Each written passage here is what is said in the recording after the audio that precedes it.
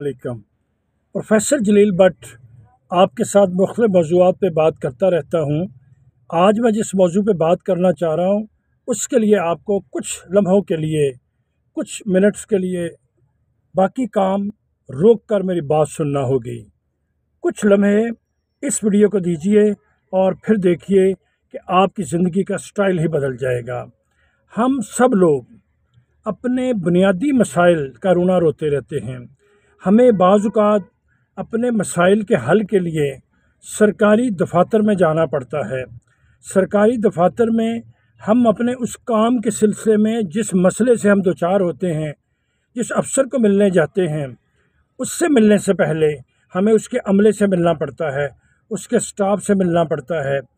جب وہ سٹاف یہ دیکھتا ہے کہ آپ کا اپنے مسئلے کے حوالے سے وہ علم نہیں جو ہونا چاہیے، تو پھر آپ کو وہ افسر سے ملنے سے پہلے ہی کوئی نہ کوئی ایسی بات کر دیتا ہے کہ آپ کا مسئلہ حل ہونا تو دور کی بات ہے، آپ کو نئے مسئلے میں ڈال دیتا ہے۔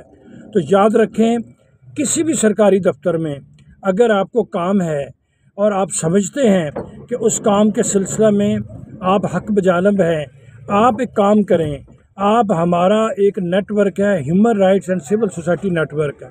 آپ اس کا نمبر لے لیں آپ نے zero three hundred four eight seven four double eight seven پہ ہمیں ایک میسج کرنا ہے کہ کس سرکاری محکمے میں آپ کا مسئلہ ہے؟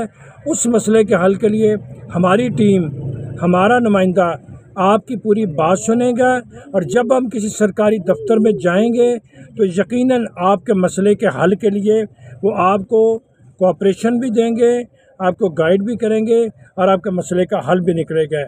آپ کو صرف یہ کرنا ہے کہ human rights and civil society network جو ہے، اس کی صرف ممبرشپ لے لیں۔ ممبرشپ لے کے آپ ہمارے ایک کمیونٹی کا حصہ بن جائیں گے۔ آئیں ہم سب لوگ ایچ آر سی این یعنی human rights and civil society network کی ممبرشپ لیں۔